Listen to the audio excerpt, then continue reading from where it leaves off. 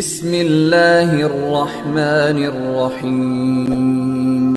अल्लाह के नाम से शुरू जो बड़ा मेहरबान और नहायत रहम करने वाला है प्यारे दोस्तों, आज की इस वीडियो में आप जानेंगे कि जिन्नात कैसे इंसानी जिस्म पर हावी होते हैं और कौन से हिस्से से जिस्म में दाखिल होते हैं। अल्लाह ताला ने इस कायनात में कई आलम तख्लीक किए और इस कुरय अर्ज़ पर दो ऐसी मखलूक़ात हैं जिनकी हिदायत के लिए अल्लाह ताला ने एक लाख चौबीस हज़ार अम्बिया कराम को मबूस फरमाया। और रिवायतों से पता चलता है कि बाज़ अम्बिया कराम ने इंसानों के साथ साथ जिनों को भी दावत हक की तबलीग की और जिन्नात में भी मुस्लिम और गैर मुस्लिम जिन्नात होते हैं और इन दोनों मखलूक यानी इंसान और जिन्नात के लिए अल्लाह ताला ने सज़ा और जजा का तस्वुर पेश किया।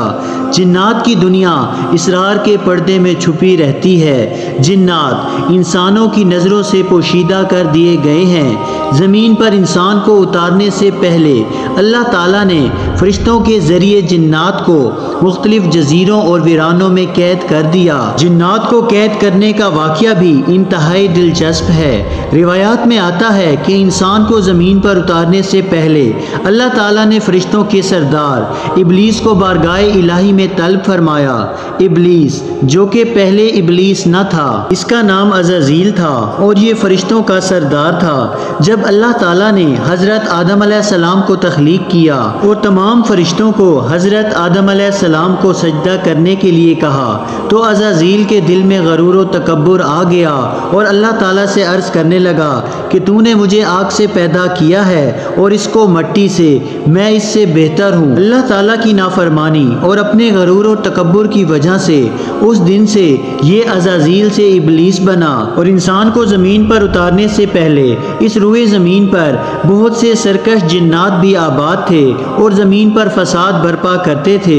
अल्लाह ताला ने फरिश्तों की एक जमात को हुक्म दिया कि वो इन जिन्नात को मुख्तलिफ़ वीरानों और पहाड़ों में कैद कर दें। चुनाचा इन फरिश्तों ने अल्लाह ताला के हुक्म के मुताबिक इन तमाम सरकस जिन्नात को मुख्तलिफ़ मकाम पर कैद कर दिया। और रिवायात के मुताबिक, हज़रत सलेमान सलाम के दौर तक ये जिन्नात वहीं पर कैद रहे और फिर अल्लाह ताला के हुक्म के तहत इन्हें आज़ादी मिली और वो दुनिया में चलने फिरने लगे। जब इन जिन्नात को आज़ादी मिली तो इनमें से बाज़ जिन्नात दोबारा ज़मीन में फसाद बर्पा करने लगे।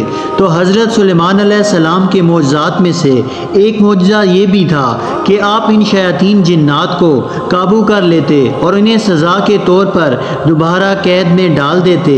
जिन्नात के वजूद का ज़िक्र कुरान मजीद में भी हुआ है और एक पूरी सूरा सूरह जिन के नाम से मौजूद है। मस्जिद जिन और तारीख़ इस्लाम के अजीम यादगार समझी जाती है।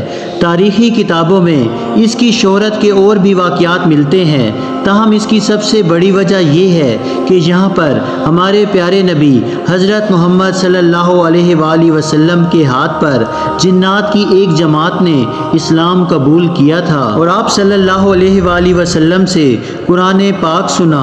इस मौका पर आप सल्लल्लाहु अलैहि ने जिन्नात के सवालात के जवाब दिए। नबी करीम सल्लल्लाहु अलैहि हज़रत अब्दुल्ला बिन मसूद रज़ी अल्लाह तहों को लेकर रात के उस वक़्त उस जगह पहुँचे तो आप सल्लल्लाहु अलैहि वसल्लम ने हज़रत अब्दुल्ला बिन मसूद रज़ी अल्लाह तहों को उस मकाम से आगे बढ़ने से मना फरमाया, ताकि कहीं जिन्नात नुकसान ना पहुँचा दें। और आप सल्लल्लाहु अलैहि वसल्लम की मुलाकात जिन्नात से हुई, जिन्होंने इस्लाम कबूल किया और आप सल्लल्लाहु अलैहि वसल्लम से इस्लामी तालीमत हासिल की। कुरान मजीद की सूरह जिन इसी तनाज़र में नाजिल हुई।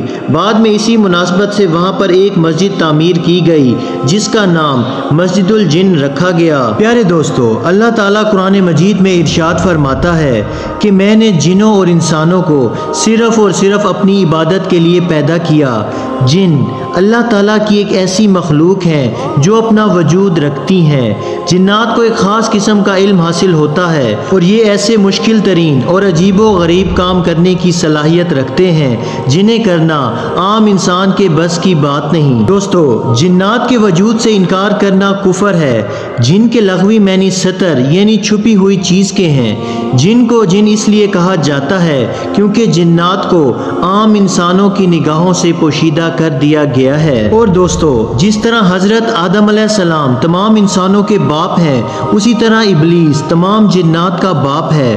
और जिस तरह इंसानों के बच्चे पैदा होते हैं, उसी तरह जिन्नात के भी बच्चे पैदा होते हैं और उनकी भी नस्ल बढ़ती है। लेकिन फ़र्क सिर्फ़ इतना है कि जहाँ इंसानों का एक बच्चा पैदा होता है, वहाँ जिन्नात के नौ बच्चे पैदा होते हैं। यानी जिन्नात इंसानों से नौ गुना ज़्यादा है। और दोस्तों, जिन्नात के इंसानों पर असरअंदाज होने के वाक़ात आए रोज़ हमारे मुशाहिदे में आते रहते हैं। ये इंसानी जिसम में दाखिल होकर उससे अजीब व गरीब हरकत करवाते हैं और नुकसान पहुँचाते हैं। इसके पीछे क्या अवामिल कार फरमा होते हैं? जिन्नात कैसे इंसानी जिसम पर हावी होते हैं? ये एक ऐसा सवाल है जो एक आम आदमी नहीं जानता।